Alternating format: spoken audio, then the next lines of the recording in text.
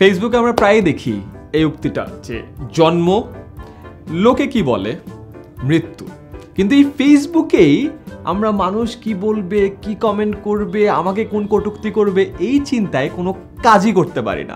ওই যে খুবই বিখ্যাত একটা গল্প আছে না? যে স্বামী এবং স্ত্রী, তাদের এক গাধা ছিল, সেই গাধাকে হাঁটিয়ে নিয়ে যাচ্ছিল এবং সামনের লোকজন বলল, আল্লাহ, কি বোকা! একটা গাধা আছে, তাও গাধাকে হাঁটিয়ে নিয়ে যাচ্ছে, নিজেরাও হাঁটছে। তখন তার চিন্তা করল আচ্ছা ঠিক আছে। তারা দুইজনই গাধার পিঠে উঠে বসল। একটু পরে আগালো। আবার লোকজন বলল, আল্লাহ, কি নির্দয় মানুষ। একটা গাধার পিঠে দুইজন প্রাপ্তবয়স্ক লোক উঠে বসেছে বেচারা গাধাটা।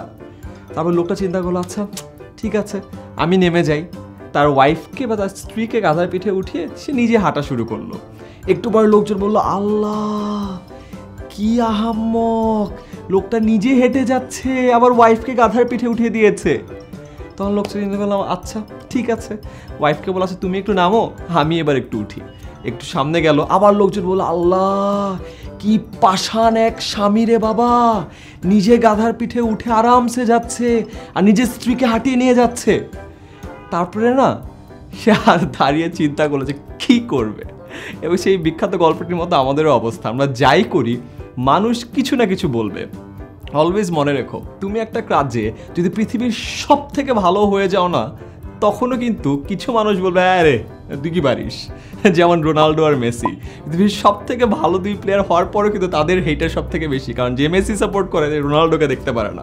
যে রোনাল্ডো সাপোর্ট করে, সে বলে, আরে, মেসির কোনো ট্যালেন্টই নাই। তুমি যতই ভালো হয়ে যাও, কিছু মানুষ তোমার পিছে খারাপ কথা বলবেই, তোমার সামনেও বলবে এবং ফেসবুকের কল্যাণে তোমার কাজের নিচে কমেন্ট সেকশনে কিবোর্ড ওয়ারিয়ার হয়ে অনেক কিছু বলবে।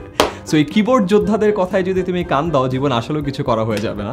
সো চেষ্টা করো, তাদেরকে তেলাপোকার মতো যে ছুঁড়ে ফেলে দাও। নিজের যেটা করার ইচ্ছা, যদি তুমি আসলেও ভালো, মানুষ কি বলবে এই চিন্তা বাদ দিয়ে করা শুরু করে দাও।